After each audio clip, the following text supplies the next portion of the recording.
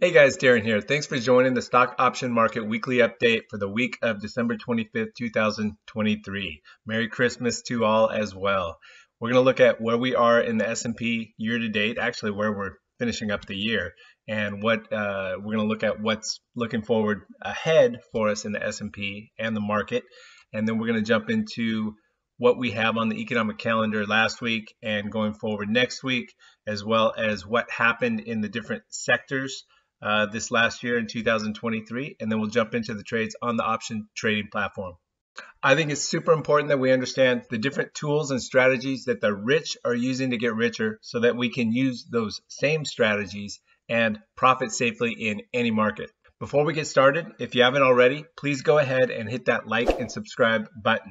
It really helps out the channel and gets the video out to more people, and I really appreciate it. So thank you very much. Also, be sure and download the free options workshop in the link below. It talks about the two main benefits of trading options over buying stocks outright. Disclaimer, I'm not a financial planner and I'm not recommending trades. Please do your own research. And if you're new or learning, I recommend you start small. All right, guys, if we look at where we are in the S&P uh, for the week, we started at 4604 and we uh, are up just under 1% at 4754 uh, is where we ended the week on Friday. And we are now up around 19.5% uh, year to date. Uh, if we look at where we started at 38.24 and up to 47.54 now. So up big this year, almost 20%. The forward PE is close to 20 now, so it's above the 10-year average of 17 and a half. And looking at the economic calendar last week, uh, we had the PCE numbers that came out um, on Friday, and they were below uh, what was expected. So that is showing that inflation is uh, getting more in check, and that is good for the market. Next week, with Christmas uh, Monday, it's going to be a slower week, uh, so there's no major economic announcements next week. If we move on to the uh, CME Fed Watch tool, um, with inflation in check, it looks like uh, the Fed will cut rates. They're going to still stay in January. Uh, this is the expectation on the uh, CME Fed Watch tool website. And there's an 85% chance that it's going to stay where it is now uh, in January at five and a quarter to five and a half. But in March, it looks like they could possibly cut rates down to the a quarter point down to the five to five and a quarter. I'm not sure they are going to do that, but it looks like 75% chance. So most people do think that they will.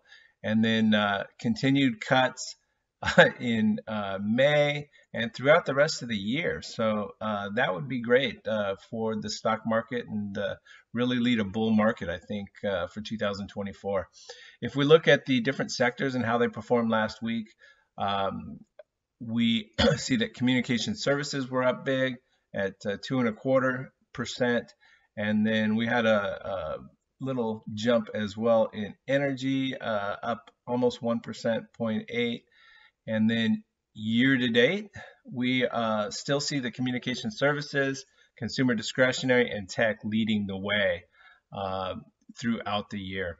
So with that, let's uh, jump into the trades right away. And the first one that we have on, well, let's look um, before we get into uh, Adobe. We did an uh, Accenture ticker symbol, ticker symbol ACN last week had a good trade. We did a video on that, so if you didn't check that out, check that out. But uh, you can see um, we made $453 in just one day. So uh, we put on a couple of tranches of iron condors and it stayed within the range and then we closed out. Uh, so we collected 550 uh, and then we closed out for 51 and $46.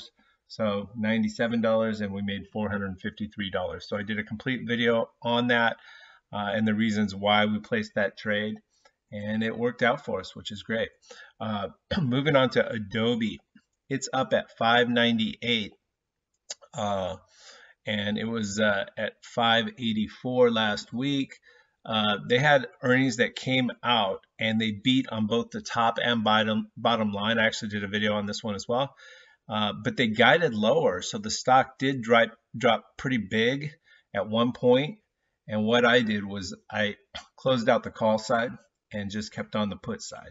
So you can see just during these trades, I did a lot of finagling, but uh, you can see we're we're up $221 uh, on that trade. But I'm big in Adobe, and uh, the lower guidance is something that their management, quite frankly, does quite often, and it's actually smart.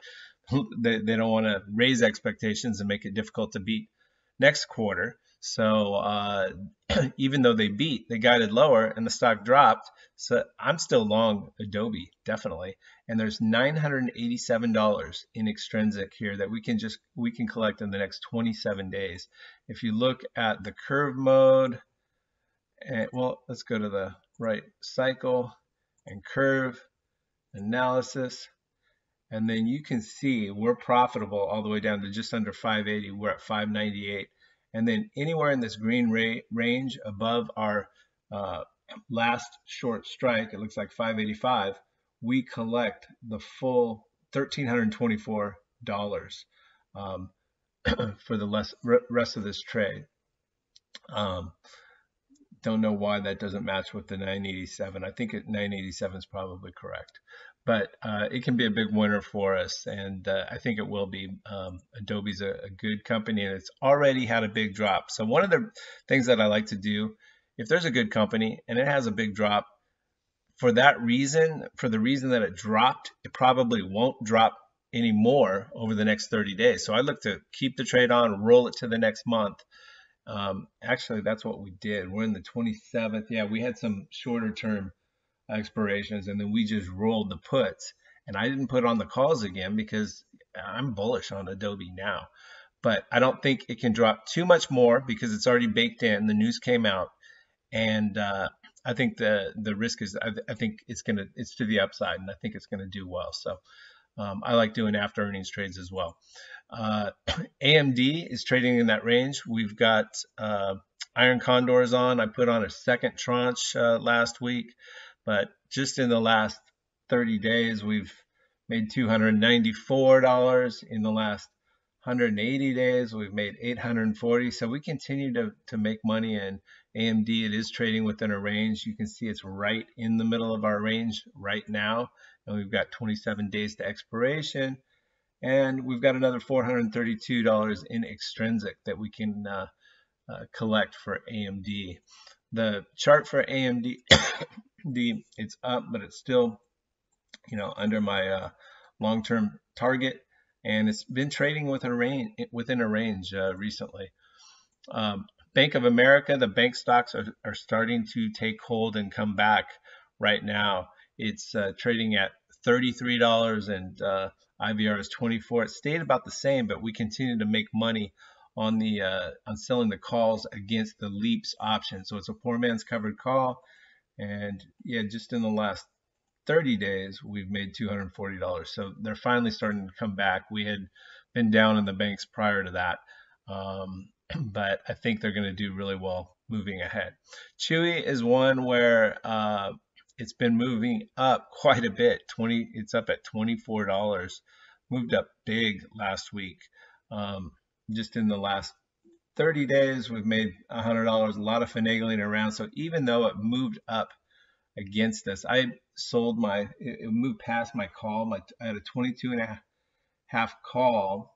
And I actually did a video and showed how I rolled after earnings to the January options. I sold a call against it. And now I had to close that out and I sold another one out a little further to allow for that range. So now we're in between that range, we're up. And I think we're in a good position. We're profitable down to 19 and a half, all the way up to 29 and a half. So we have a huge range in Chewy to uh, continue to make profits. And I'm long Chewy uh, going forward. I've got a long-term target of like 34, 35 dollars for Chewy. Uh, but I do believe that it, you know it's not going to move up all at once. It's going to take time. But over the next year, I think they should do well. Now, Costco was an earnings trade, it uh, had a big jump. You can see it just went parabolic. It went straight up. Whenever this happens, and I have an earnings trade on, I uh, sell. I so I had an iron condor on and did a video on it. You can check it out. But I closed out my puts and I doubled down on the calls. So right now I've got $937 in intrinsic that we can collect as long as it doesn't move up past this 685. We're at 671 right now, and I'm playing Costco to the downside. When I find that a stock moves up that high, at some point it's got to come down. I think long term it's going to go up, but it, I think it's just too high right now. Although we do have Christmas, and that's probably why it's uh, high. They're going to probably have good numbers coming out. People suspect, but again, uh, I got hurt a little bit on the earnings trade, so I wanted to roll out and stay short uh, Costco right now on the call side. After it's already moved up that big, I don't think it can, you know, it's not going to skyrocket up any, you know, too much further. I think the risk uh, is to the downside. I think it's going to move down, and uh, this will capitalize on it, and we can collect some premium uh, if it does. If it doesn't, it's not going to move up too far past this. Uh, if that does happen, I'll close all these out and maybe open one or I'll probably open at least a couple more, and I'll do the call side again and throw it further out uh, in time. Um, the next monthly option chain.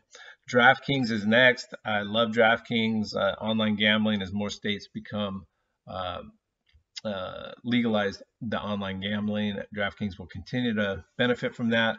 I've got leaps options and calls that I've sold against it, closed and sold, closed and sold as it continues to move up. Uh, if we look at, you know, the DraftKings, what we've done in the last 30 days, 243. And I think over the, let's see what we did for the year, the last year, you know, $1,800 uh, in DraftKings. And that's just on the option side. So we've also had appreciation in the leaps as well, as you can see here. So we've made a lot of money in uh, DraftKings, uh, and we'll continue to do that uh, moving forward. I've got a $50 target, and they're at 35. But again, it's not going to move up all at once, and it's going to trade within ranges. Uh, FedEx is the next one. this one uh, was a earnings loser for us, uh, one of the three. And I've got a video that I'm coming out with. Look for that in the next day or two but that will be coming out and it's going to talk about how I am making these earnings trades, uh, either closing out the winners and then the losers. I'm uh, rolling to the next month and we're going to be profitable next month. I'm confident. And uh, we've got now iron condors on uh, two sets and then I've got an extra put because it did move down after earnings. Um, if we look, you know, e even with it with missing in the last 30 days, yeah, it's not good. We got to make some money back. But uh, we've got $759 in extrinsic that as long as we stay within this 245 to 265 range, we will make that money back and we will be profitable on this trade within one month where we lost money initially after earnings. Um, and again, I've got a video that's uh, covering uh, this. They missed earnings and it dropped uh, down uh, quite a bit, and it was due to their express unit. And uh, I talk about the reasons why I don't see that as too much of a concern moving forward. Uh, Lennar is another one that we've still got on from earnings that we rolled out. Um, it just didn't come in. We didn't miss on uh, Lennar, but uh, we didn't do the the closest expiration. So I did January so that I could go a little bit wider and it's it's working so far. It just needs time to come in. But we've got you know $694 that we can collect as long as it stays within this range. It's already had earnings. Uh, they were good.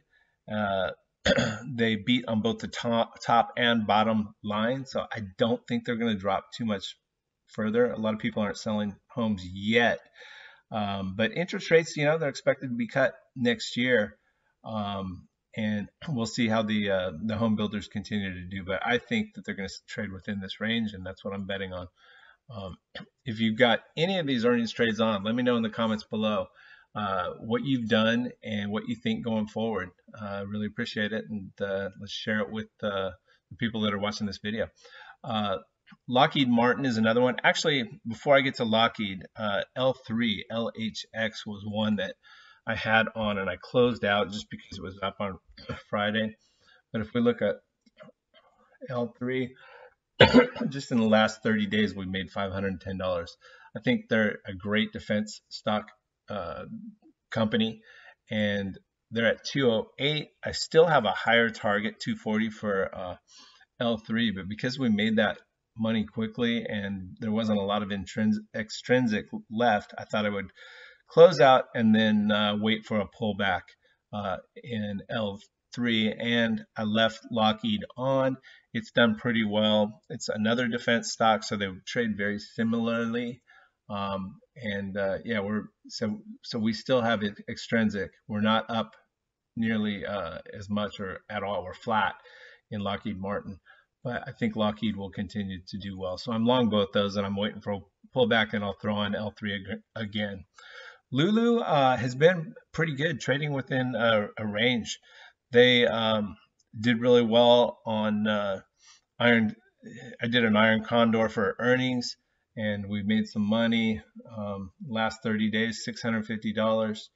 Um, and then I just moved on. And because IVR was still high, and again, I like those after earnings trades, uh, but it did move up quite a bit. So I've got one extra tranche of call spreads on against um, the one set uh, of the put, the 460, 450 put spread, and the 540, 550 call spread. So as long as it stays within that range where we are, um, we're good. And again, it had a big parabolic move, huge move up. So that's why I'm a little bit short. Um, but again, with Christmas, I think uh, it should continue to do good. But keep in mind that consumer discretionary is still way up. Um, so, um, you know, I just think the risk uh, to the upside is minimal and uh, it's more to the downside. And that's why I'm a little bit uh, short. You can see I've got 14 negative delta, beta weighted deltas on a Lulu. So that uh, shows that uh, I'm a little bit short Lulu. Palantir is, um, I actually sold off one of the calls. It was down last week. It trades between that, you know, 16 to 20 up to 19 range. Uh, I've got the leaps options. We've done really well in Palantir. I think it's going to do great next year as well. Throughout the year, I'm going to continue to watch it and trade it. Um, just in the 30 day, you know, we've made $560 in the last 30 days, and uh, that is on the options alone and not necessarily the uh, the stock. Um, but the stock we've made money as well, and we've got three leaps on uh, over a year out. and then I sold one of the calls. I'll look to put that on on any down move, throw another uh, call on, um, or any up move. Uh, up move, I will put a call on. A down move, um, I will probably I, I, could buy another uh, tranche, another uh, leaps option. So that's Palantir. SoFi uh, was up big last week. It's up near 10. Um, I sold a little bit of it, but we are up pretty big now. And we were just down a couple of weeks ago, but we've made $1,200 in the last 30 days in SoFi. And I think, you know, this could be a $20 stock. It could double next year. So I'm going to continue to do the leaps options and the covered calls when it gets a little bit at the higher end of the range and continue to trade it the way we're trading it. Uh, but I love SoFi going forward. SQQ, Q is the um, that is my hedge right now. Um, I didn't trade SPX too much last week just because we were in such a bull market. Um, I stayed away from that, but you can see this is down at 13 and a half.